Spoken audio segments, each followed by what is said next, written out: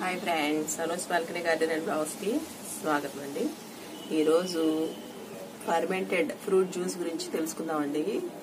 దాన్నే oriental herbal nutrition అని పిలుస్తారు. దానికి ముందు కావాల్సినవి ఏంటంటే మనకు నచ్చిన ఫ్రూట్స్ నచ్చినవి అంటే పుల్లటై తీసుకోకూడదండి. అన్ని తీపియే తీసుకోవాలి. ఇదిగోండి పప్పాయ తీసుకున్నాను దానిమ్మ గింజలు తీసుకున్నాను అరటిపళ్ళు తీసుకున్నాను. నాకు ఈ మూడే దొరికినాయండి. నీకు మీకు ఎన్ని దొరికితే ఎన్ని రకాల పళ్ళు దొరికితే అన్ని రకాలు తీసుకోవచ్చు. కానీ తీపియే తీసుకోవాలి. పొల్లటే మాత్రం ఎట్టి పరిస్థితుల్లో తీసుకోకూడదు.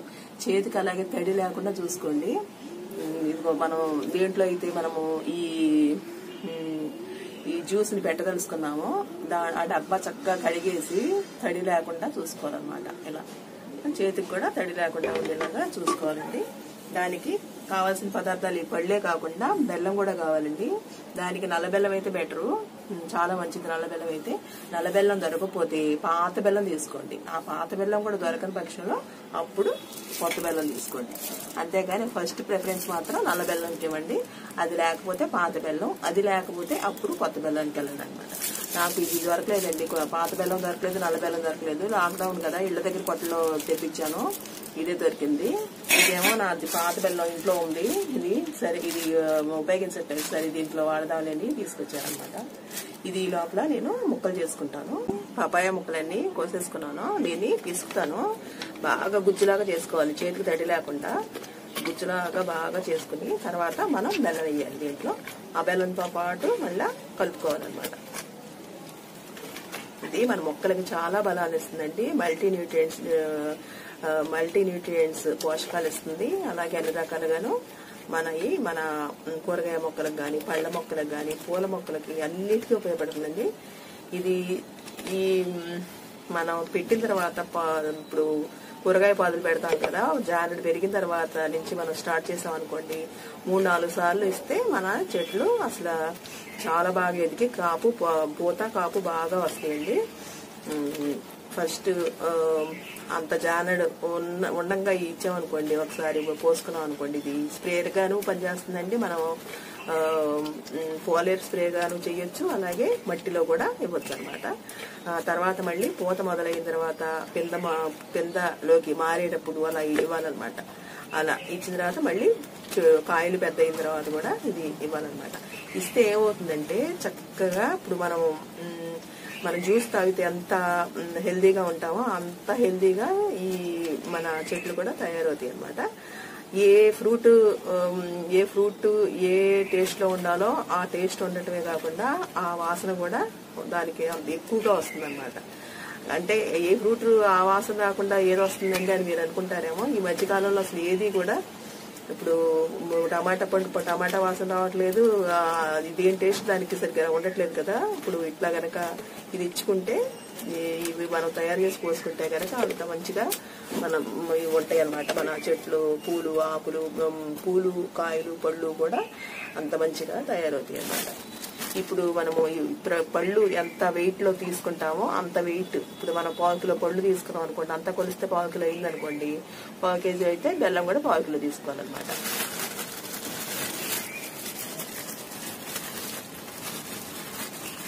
ఇది లీటర్ వాటర్కి వచ్చేసండి. చిన్న చెట్లు అయితే వన్ ఎంఎల్. వేస్తే సరిపోతుంది. ఈ జ్యూస్ ఇట్లా పిండితే వస్తుంది. ఒకవేళ అట్లా వద్దులే అనుకుంటే గనక మనం తయారు చేసుకున్న పదార్థం వన్ గ్రామ్ వచ్చినట్టుగా కూడా మనం అలా సుమారుగా వేసేసుకోవచ్చు అనమాట వేసేసుకుని వాటర్లో డైల్యూట్ చేసేసి కొంచెం వడపోసేసుకుని అది అడ్డం పడుతుంది కదా మన స్ప్రేయర్కి. అట్లా కాకుండా ఒకసారి వడపోసేసుకుని మన మొక్కలు పిచ్చుకోవచ్చు అనమాట మన మొక్కలు పోస్తే చాలా బలం అండి. మీరు చూడండి ఇది పోసి ఎలా ఉంటాయో మన మొక్కలు. ఇప్పుడు ఇట్లా కలిపేసుకున్న దీంతో పాటు.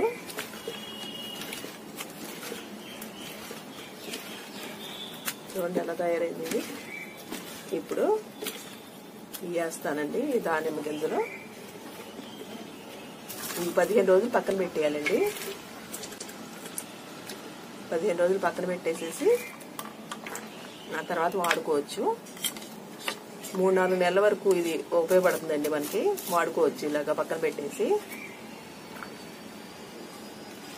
ఈ మీరు పళ్ళు ఫ్రెష్ తీసుకురావాల్సిన అవసరం లేదండి. నా ఇంట్లో ఈ మా ఇంట్లో ఫ్రెష్ ఉన్నాయి కదా అని తీసుకున్నాను కానీ ఒకవేళ లేవనుకోండి ఫ్రెష్ అవసరం లేదు అసలు. మనం పళ్ళ మార్కెట్కి వెళ్తే వాళ్ళు అవసరం లేని పక్కన పెట్టేస్తారు. అంటే అవసరం లేని అంటే డ్యామేజ్ వచ్చినాయి డాగులు వచ్చినాయి పాడైపోయినాయి ఇంకెవరు కొనరు అనుకున్నప్పుడు ఏం చేస్తారు? పక్కన పడేసేసి ఉంచుతారు కదా అవైనా మనం సేకరించుకోవచ్చు. వాళ్ళు అడిగితే వాళ్ళు ఊరికే ఇస్తారండి మనకి. అవి తెచ్చుకుని కూడా మనము తయారు చేసుకోవచ్చు. వీటికి ఒక పైసా ఖర్చు కూడా లేదండి. మనం అలా తయారు చేసుకోవచ్చు అనమాట ఇవి బాగా పిసికేయాలండి. ఇవి ఇది ఏంటంటే మన దానిమ్మ గింజలు. మళ్ళీ దాంట్లో ఉన్న సారం అంతా దిగాలి కదా అందుకనమాట బాగా పండిపోవాలండి. కాయ ఏదైనా సరే మీరు తీసుకున్నది బాగా పండిపోయినట్టయితే తీపి కాయలు కనుక తీసుకున్నారనుకోండి ఇది బాగా చక్కగా తయారవుతుంది. మనం చక్కగా చెట్లకి ఉపయోగపడుతుంది అనమాట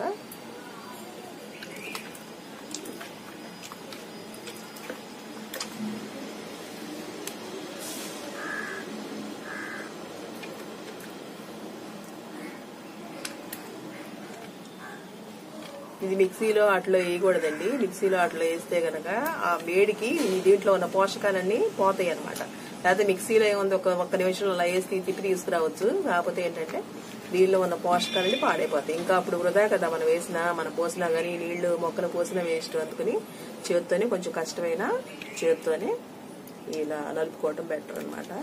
ఇది ఇది అయిపోయిన తర్వాత ఇప్పుడు అట్టుబడి తీసుకుంటానండి.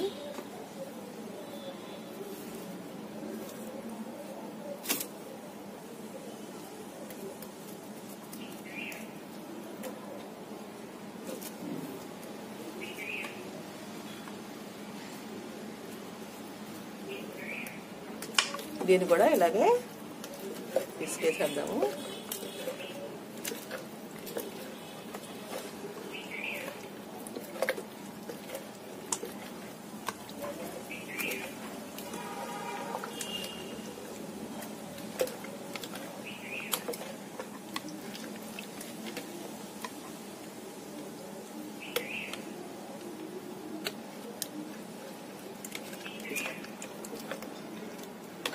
మీకు ఎక్కువ పళ్ళు కనుక దొరకని పక్షులు ఏం చేస్తారంటే ఒక్క పండు అయినా సరేనండి. మీరు పపాయ అయినా సరే మన బొప్పాసకాయ అయినా సరే తీసుకుని దాంతో కూడా తయారు చేసుకోవచ్చు. అట్లాగే అరటిపండు ఒకటే దొరికింది అనుకోండి దాంతో కూడా మీరు తయారు చేసుకోవచ్చు. అలాగే ఏ పండు దొరికితే ఆ పండుతో మీరు ఇలా తయారు చేసుకోవచ్చు అండి. ఇప్పుడు మనం బెల్లం వేసుకుందాం దీంట్లో.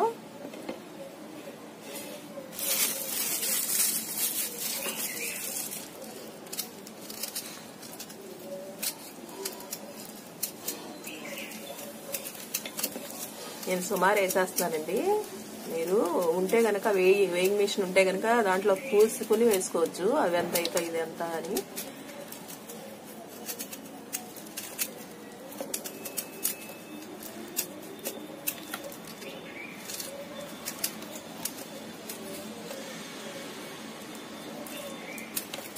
ఇదండి వేసేస్తాను సుమారు.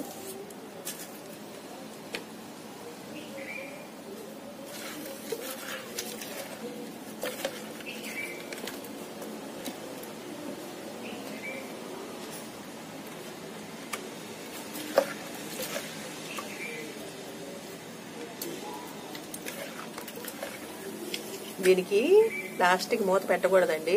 మనం ఇంతకుముందు క్లాత్ కట్టుకున్నాం కదా ఇంతకుముందు మనం వేరే వీడియోలు చేసినప్పుడు.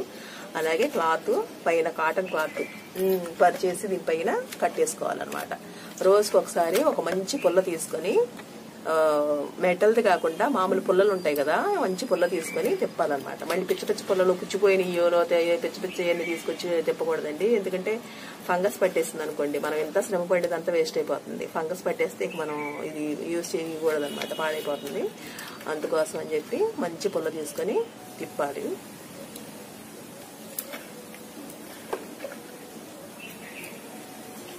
కొంచెం కష్టం అవుతుందండి ఇది. మనం నలుపుకోవటం చేతితో కొంచెం ఆగండి. ఇది ఒకవేళ చె- చెయ్యి నొప్పిగా ఉంటే ఆగండి. అంతేగాని మిక్సీలో మాత్రం వేయకండి. మిక్సీలో వేయకూడదు.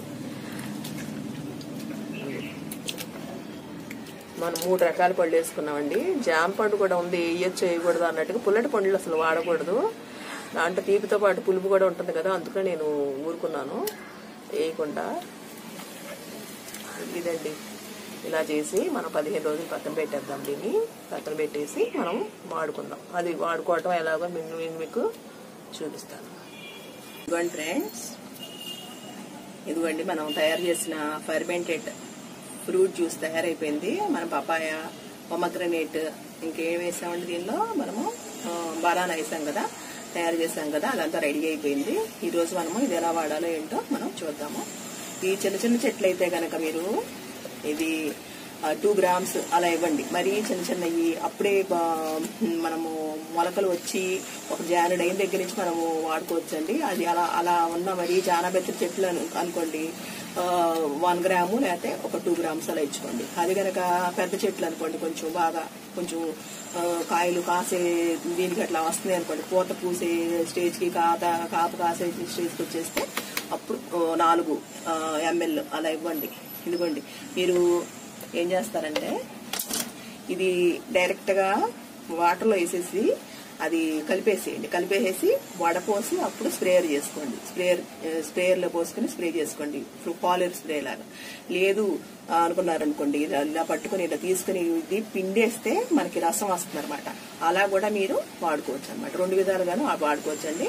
మీరు ఇది స్ప్రే చేసేటట్టయితే గనక ఇలా దీంట్లో ఇలా వడపోసి వాడుకోవటం బెటర్ అండి. స్ప్రే స్ప్రే చేస్తే దీనికి అడ్డం పడుతుంది కాబట్టి మనం ఆ పని చేస్తే బెటర్ అదే కనుక మొక్కల్లో కింద ఇచ్చేటట్టయితే కనుక మనం మనం ఏం చేయాలంటే చేతితో పిండేసేసినా పర్వాలేదు. లేకపోతే డైరెక్ట్గా ఆ పలుపు తీసి దాంట్లో వేసేసి తర్వాత డైరెక్ట్గా అట్లా వాటర్ దాంట్లో వేసేసి ఇచ్చేసినా పర్వాలేదు అనమాట అలా చేయండి. నేనేమో స్ప్రే చేస్తాను కాబట్టి దీంట్లో నేను కొంచెం లీటర్ వాటర్ తీసుకున్నానండి. ఇదిగోండి. లీటర్ వాటర్ తీసుకున్నాను. దీంట్లో నేను కొంచెం ఒక ఫోర్ ఎంఎల్ జ్యూస్ వెళ్ళేలాగా చూసి ఇస్తానమాట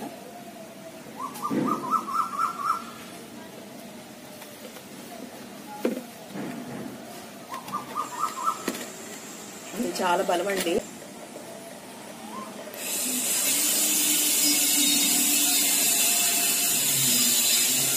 ఇది మనము ఇది ఎంత అయిందో కొలుద్దామండి. కొలిసాక నేను మీకు చూపిస్తాను.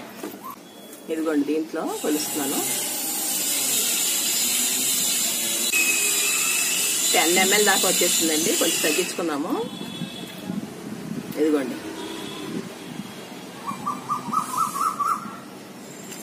ఇదిగోండి. చూసారా? ఇక్కడ దాకా టెన్ ఇక్కడ దాకా వచ్చింది కాబట్టి ఫోర్. ఫోర్ కింద మనం అనుకున్నాం. ఫోర్. ఇక్కడ ఫోర్ అండి. దాని పైకి టెన్ ఉంది. దీంట్లో కలుపుకుందాం ఇప్పుడు దీంట్లో కలిపేసుకుని మనం స్ప్రే చేసేసుకుందాం.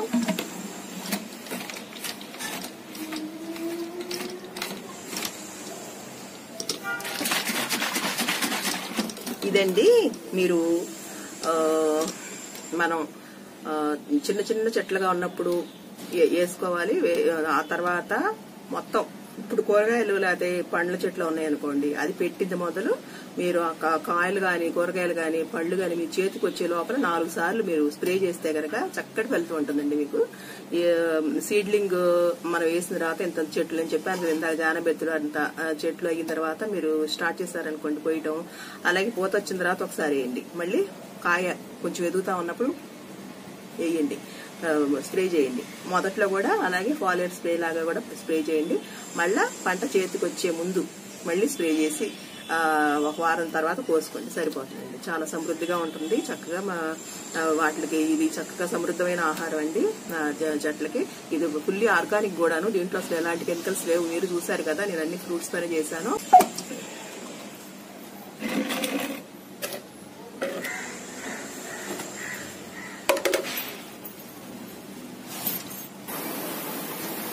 ఇదిగోండి మనం స్ప్రే చేసుకుందాం. చూడండి. మీరు డిస్టర్బ్ వస్తుందండి ఇక్కడ మీరు ఏమనుకోకండి అనుకోకండి. పక్కన కన్స్ట్రక్షన్ చేస్తున్నారు. దానివల్ల డిస్టర్బెన్స్. కొంతమంది ఫ్రెండ్స్ అంటున్నారు చాలా డిస్టర్బెన్స్గా ఉందని. అది కన్స్ట్రక్షన్ చేస్తున్నారండి. వాళ్ళు మనం ఏం అనలేము కదా. అందుకోసం కొంచెం అప్పుడప్పుడు అలా డిస్టర్బ్ డిస్టర్బెన్స్ వస్తుంది. ఇలా చేసుకోవాలండి మొత్తం. ఇలా చేసుకొని మొదట్లో కూడా ఇచ్చి ఇచ్చామనుకోండి. మన యొక్క మొక్కలు చక్క తిరుగు లేకుండా చక్కగా ఎదుగుతాయి అన్నమాట. ఇలా ఇవ్వండి.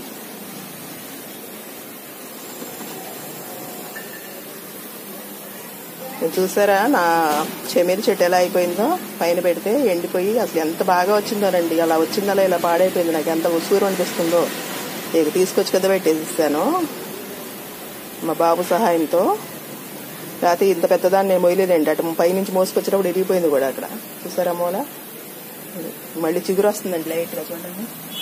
బతికితే బాగుండు అనుకుంటున్నాను. రెండు మొక్కలు తీసుకున్నానండి. మాట మాటి చచ్చిపోతున్నాయండి. రెండు మొక్కలు. రెండు మొక్కలు ఇలాగే ఉన్నాయి ఇప్పుడు. చక్కగా ఎదిగిందల్లా ఈ ఎండలు కనుక్కుంటే ఇలా అయిపోయింది. ఇది ఫ్రెండ్స్ ఇలా ఇవ్వాలండి మనం మన మొక్కలకి. మొదట్లో కూడా మీకు ఇది పోసి నేను చూపిస్తాను రెండు మొక్కలకి. ఇదిగోండి. దీనిలో ఉన్న పల్ప్ కొంచెం దీంట్లో వేస్తున్నాను వేసేసి కలిపేసి తీసుకొని ఒక లీటర్ వాటర్కి ఇలా కలిపేసామనుకోండి పింటేసేసి ఇది పారేసేయండి మీరు. ఇది నేను పోస్ట్ చూపిస్తాను మొక్కల్లో.